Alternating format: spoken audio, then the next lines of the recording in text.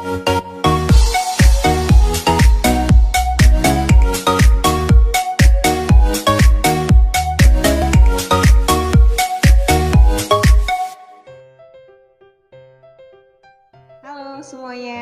hari ini kita akan belajar mengenai transportasi zat melintasi membran, kemudian sintesis protein, dan yang terakhir reproduksi sel.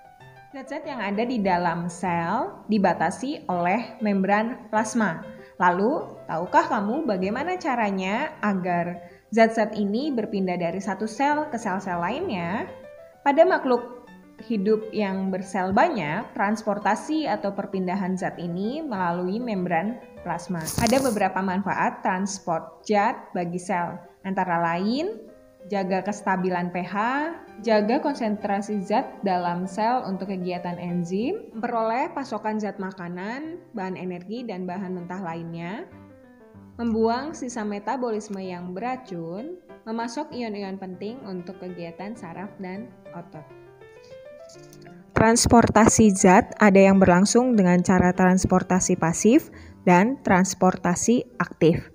Transportasi pasif yaitu mengikuti aliran perbedaan konsentrasi dari konsentrasi yang tinggi atau hipertonis ke konsentrasi yang rendah atau hipotonis. Transportasi pasif tidak membutuhkan energi. Transportasi aktif yaitu melawan aliran perbedaan konsentrasi Berarti dari konsentrasi yang rendah atau hipotonis ke konsentrasi yang tinggi atau hipertonis. Dalam transportasi aktif dibutuhkan energi dalam bentuk ATP atau adenosin trifosfat untuk melawan aliran perbedaan konsentrasi tersebut. Proses transportasi zat melewati membran meliputi difusi, osmosis, transport aktif, endositosis, dan eksositosis. Membran sel bersifat selektif permeable. Membran ini akan menyeleksi molekul-molekul apa saja yang boleh masuk ke dalam sel. Secara struktural, membran plasma tersusun atas fosfolipid bilayer, yaitu dua lapisan lemak yang berikatan dengan fosfat. Kemudian ada protein integral yang berfungsi dalam mengangkut bahan-bahan ke arah yang berlawanan dengan arah difusi. Selanjutnya ada protein perifer berfungsi sebagai enzim atau pengatur fungsi intraseluler yang lain. Kemudian ada glikolipid, ialah molekul karbohidrat yang menempel pada lemak. Dan glikoprotein ialah molekul karbohidrat yang menempel pada molekul protein. Glikolipid dan glikoprotein berfungsi sebagai tanda pengenal bagi sel. Pada transport pasif, substansi berpindah ke dalam atau keluar sel mengikuti gradien konsentrasi yang menurun. Sebagai contoh, pada tubuh protista, jika konsentrasi oksigen di luar tubuh protista lebih besar daripada konsentrasi oksigen dalam tubuhnya, maka oksigen akan bergerak ke dalam sel. Sebaliknya, jika konsentrasi karbon dioksida di dalam tubuh protista lebih besar daripada di luar tubuh, maka karbon dioksida akan bergerak keluar tubuh.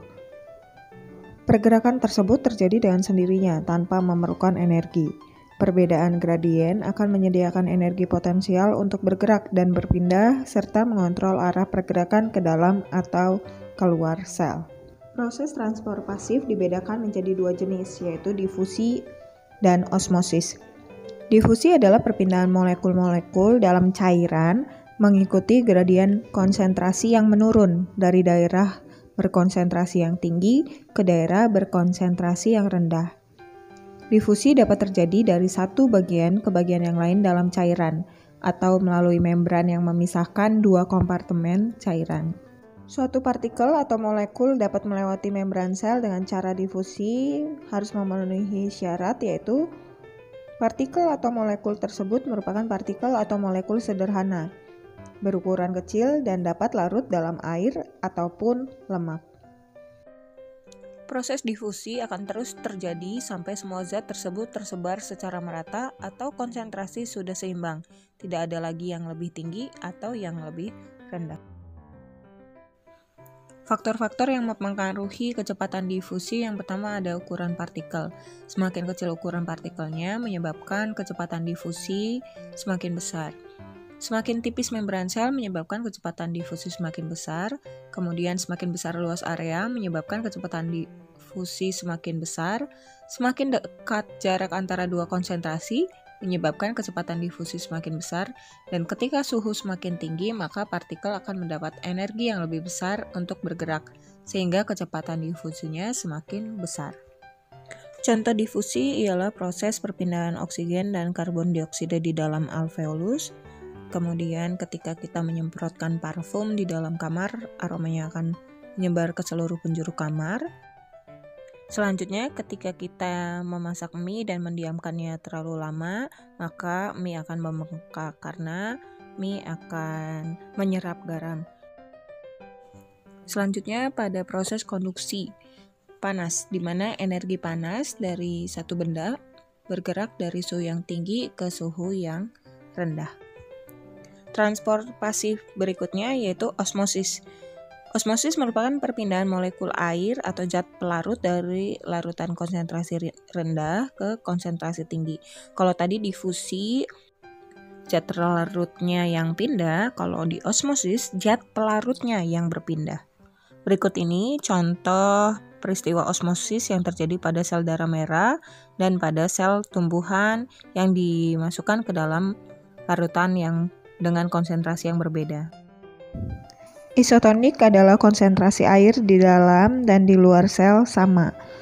Oleh karena itu, tidak terdapat kecenderungan air untuk masuk atau keluar dari sel. Jika sel-sel darah merah diambil keluar tubuh dan dimasukkan ke dalam larutan yang isotonis, maka sel berukuran normal atau tidak kehilangan atau memperoleh air. Jika sel darah merah dimasukkan ke dalam larutan garam dengan konsentrasi yang lebih tinggi dari konsentrasi sitoplasmanya atau kita sebut hipertonis ya, maka air yang ada di dalam sel akan keluar sehingga sel darah merah akan kehilangan air dan mengisut. Jika sel-sel darah merah kita masukkan ke dalam larutan yang memiliki sedikit garam, atau tanpa garam sama sekali atau yang kita sebut larutan hipotonis, maka sel-sel darah merah tersebut akan pecah karena air akan memasuki sel sehingga membuat sel menggembung. Nah, proses inilah yang menyebabkan jari-jari tangan kamu keriput jika berendam pada air terlalu lama. Kelihatannya jari-jari kamu menyusut, padahal tidak. Hal yang terjadi sebenarnya adalah Air berdifusi keluar sel-sel kulit jari-jari kamu, membengkakkan sel-sel tersebut lebih cepat daripada sel-sel di bawahnya dan menyebabkan keriput-keriput. Pada sel tumbuhan, jika dimasukkan ke dalam larutan isotonis, kondisinya akan tetap normal, volumenya juga stabil dan tidak ada kecenderungan air akan masuk ke dalam sel. Ketika dimasukkan ke dalam larutan hipotonis, Sel tumbuhan akan mengalami turgid atau membengkak karena sel ini mempunyai dinding sel yang dapat menjaga kondisinya dipertahankan. Plasmolisis terjadi pada sel tumbuhan jika dimasukkan ke dalam larutan yang hipertonis, menyebabkan air berdifusi keluar sel. Membran sel akan lepas dari dinding sel, sitoplasma dan inti akan mengkerut. Terbentuk ruang kosong antara dinding dengan kerutan sel.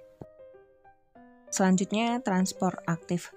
Contohnya pompa ion yang terjadi pada natrium dan kalium pada sel hewan. Sel hewan memiliki konsentrasi ion kalium lebih tinggi dan ion natrium lebih rendah dibandingkan dengan lingkungannya.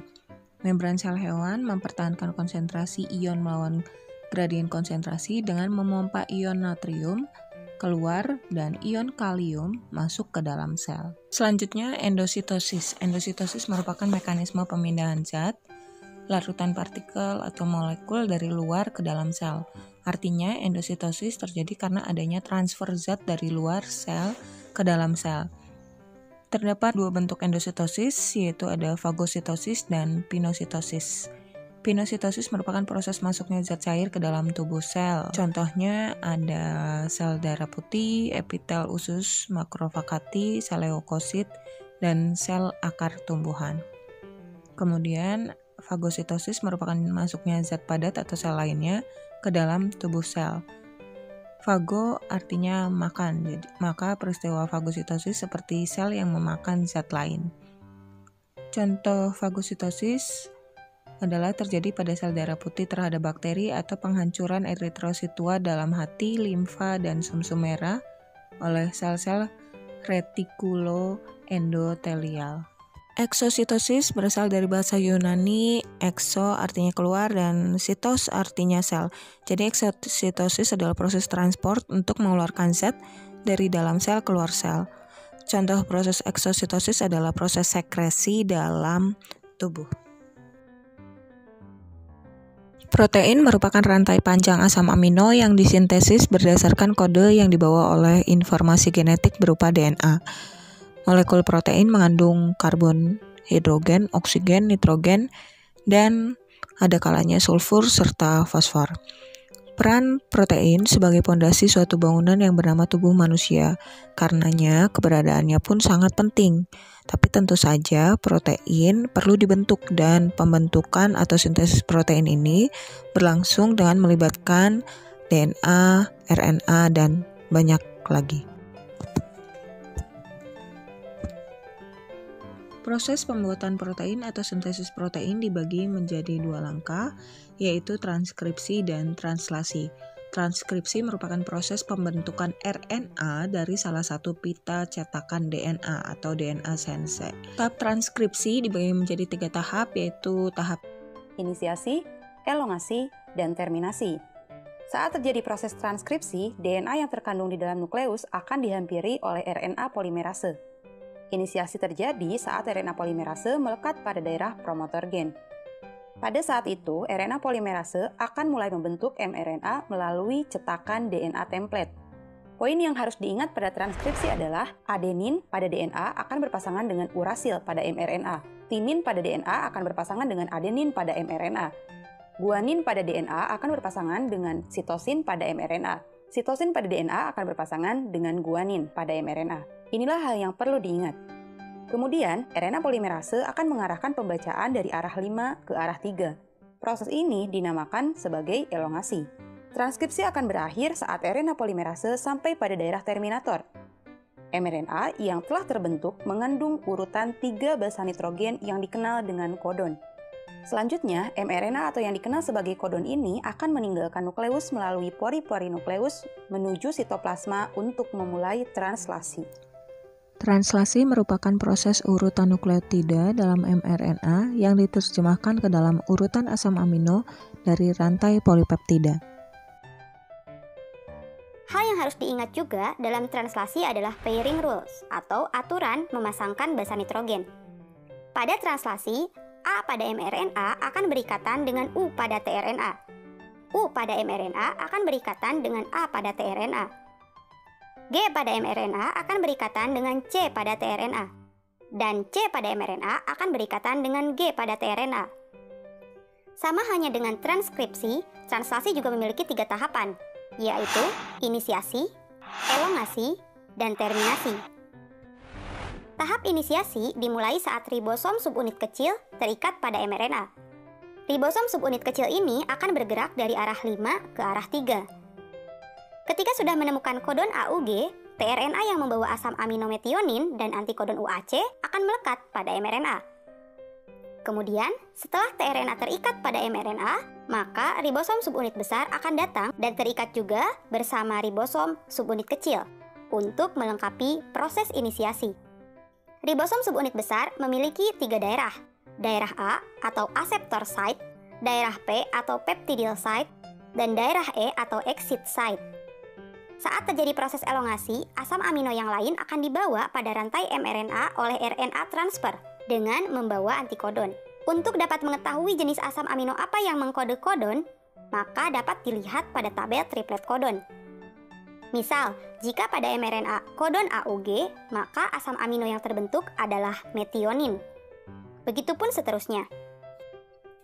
Selanjutnya, asam amino yang baru ini akan memasuki daerah A, Lalu, ikatan peptida akan terbentuk di antara kedua asam amino pada daerah P. Saat itu, ribosom akan berpindah ke triplet kodon lain yang ada di mRNA. Sehingga, tRNA yang sudah melepaskan asam aminonya akan berada di daerah E dan bersiap untuk keluar. Kemudian daerah A bersiap untuk ditempati tRNA yang baru. Siklus ini akan terus berulang sampai pada tahap terminasi. Terminasi terjadi ketika salah satu dari tiga stop kodon berada di daerah A. Kodon ini dikenali oleh protein yang dikenal sebagai release factor. Saat rilis faktor memasuki daerah A, secara otomatis polipeptida akan rilis dari ribosom. Dan ribosom pun akan terpisah dan bersiap untuk melakukan translasi yang baru. Pembelahan sel atau reproduksi sel adalah suatu proses yang membagi satu sel induk menjadi dua atau lebih sel anak.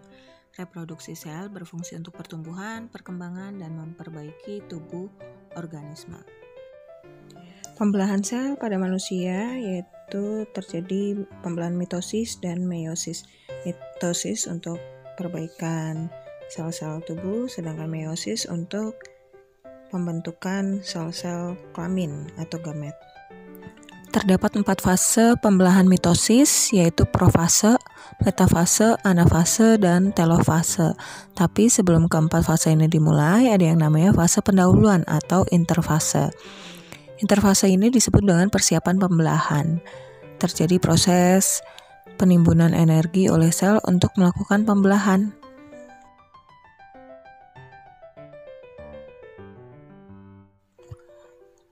Pada awal profase, sentrosom mengalami replikasi sehingga menghasilkan dua sentrosom.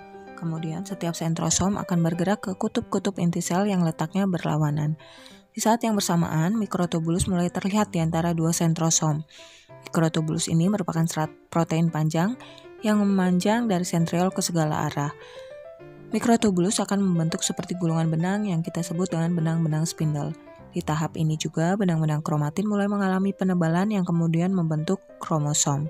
Kromosom terdiri dari dua kromatin identik yang terikat pada sentromer atau kepala kromosom. Setiap sentromer memiliki dua kinetokor yang merupakan formasi protein dan menjadi tempat melekatnya benang-benang spindle nantinya. Pada tahap ini, pasangan kromatid bergerak ke bagian tengah inti sel atau bidang ekuator dan membentuk lempeng metafase. Tahap anafase ditandai dengan pemisahan kromatid dari bagian sentromer yang kemudian membentuk kromosom baru. Masing-masing kromosom ditarik oleh benang-benang spindle menuju kutub yang berlawanan. Pada tahap akhir anafase, kromosom hampir sampai ke kutubnya masing-masing. Selain itu, sitokinesis juga mulai terjadi. Sitokinesis merupakan fase pembelahan atau pemisahan sitoplasma organel dan membran seluler. Pada tahap terakhir yaitu telofase, Kromosom telah sampai di kutubnya masing-masing. Benang-benang spindle mulai menghilang dan membran inti sel juga mulai terbentuk di antara dua kelompok kromosom yang terpisah. Kromosom semakin lama akan menipis dan berubah menjadi benang-benang kromatin kembali. Kemudian, sitokinesis telah selesai. Sel telah membelah dan menghasilkan dua sel anak dengan kromosom diploid atau 2N.